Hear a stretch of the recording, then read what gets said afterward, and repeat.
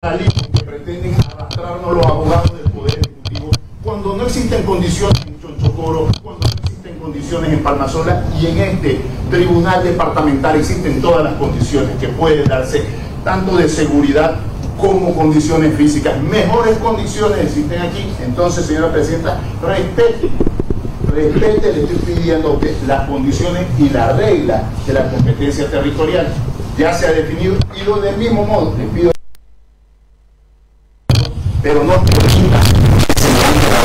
para nadie en este tribunal y que además se considere el hecho de que los informes del 3 de marzo del mayor González ya han sido eh, considerados por sus autoridades en audiencia, de, en audiencia suspendida en fecha 11 de marzo eh, del año 2024. Palabra, señora Presidenta.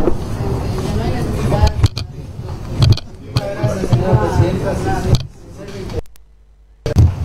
He escuchado atentamente el discurso de la institución. Quizás a la realidad